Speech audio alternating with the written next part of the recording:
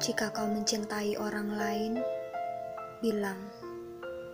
Jika kau sudah bosan, bilang. Jika memang bukan aku lagi yang ingin kau perjuangkan, tolong katakan dengan jelas.